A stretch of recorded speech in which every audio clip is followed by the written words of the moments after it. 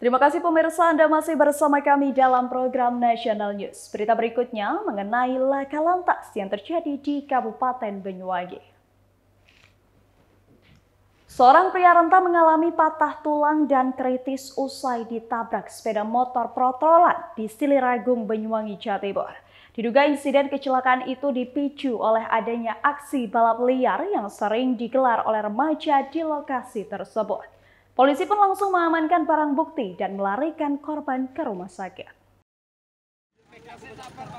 Diduga menggelar aksi balap liar, seorang remaja berinisial RFA 13 tahun warga desa Baru Rejo, Siliragung, Banyuwangi, Jawa Timur mengalami kecelakaan.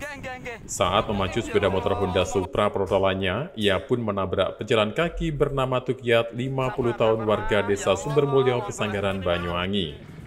Menurut anggota unit lantas Polsek Gambiran Aibtu Muhammad Basori, RFA bersama beberapa rekannya sedang melakukan aksi trek-trekan di lokasi kejadian. Saat ia menjalankan sepeda motornya dengan kecepatan tinggi, tiba-tiba di depannya muncul korban yang berjalan kaki. Lantaran jarak yang terlalu dekat dan tak dapat mengendalikan laju kendaraannya, akhirnya sepeda motor yang dikendarai remaja itu menghantam tubuh pria tersebut. Akhirnya, keduanya terjatuh dan terpental di aspal. Tukiat mengalami luka patah tulang kaki dan dalam kondisi kritis, sedangkan RFA mengalami luka memar dan beberapa luka lecet pada bagian wajah. Warga yang mengetahui peristiwa itu langsung menghubungi polisi. Beberapa saat kemudian, polisi datang ke lokasi dan membawa barang bukti sepeda motor yang terlibat kecelakaan tersebut.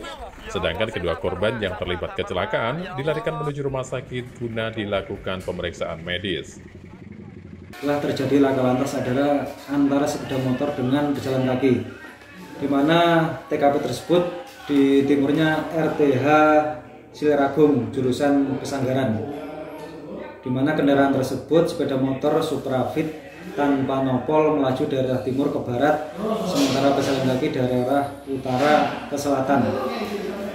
Dari pengendara motor kurang bisa menguasai laju kendaraannya sehingga menabrak pejalan kaki yang sedang menyeberang. Dari Banyuwangi, Jawa Timur, Tim Liputan Nasional TV melaporkan.